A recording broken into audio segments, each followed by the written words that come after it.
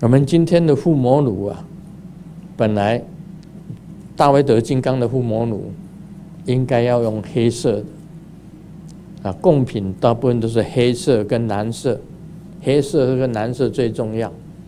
我一看，还是放了吉祥物啊，还放的东西都是大部分都是没有降服的，没有降服作用的，大部分还是叫大家哈，可能吧。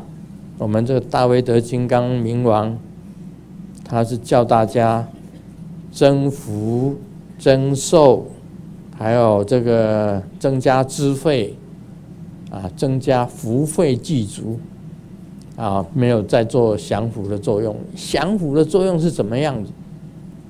你找一片大片的树叶，有尖形的树叶，有尖的三角形的树叶最好。啊几个三角形的枫叶也是尖的吧？好，把它洗干净。那个叶子啊，最好不要黄的，也不要枯萎的，绿色的也可以。然后做降服法呢，是把对方敌人的名字写在写在树叶上面，在上面再涂一层老鼠药。老鼠药是什么啊？毒药嘛，是毒药的东东西啊，吃了会死。涂上一层老鼠药给它烧，是这是降伏法里面有教的啦。我不是教大家做降伏法去降服某一个人，不是这个意思。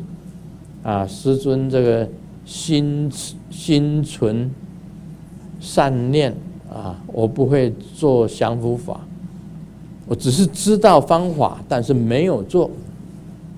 从来也不会去降服某一个人，不会，啊，我觉得不需要这样子。